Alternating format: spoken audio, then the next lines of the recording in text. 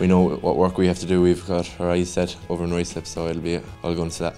You take every game in its stride, and I suppose when you go into it, you just know you identify the threats that they have, and it's the same as any other game. You prepare for the same way, and you just go about your job as you would if it was any other team. So it's it's just a matter of hopefully getting over the line over there, but it's not going to be easy.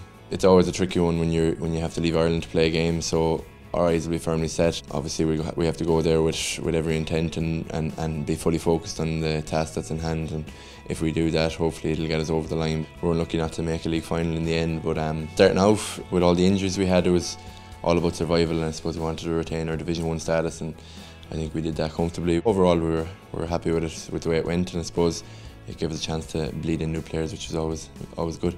Connacht is building, and it's not even the Division One teams.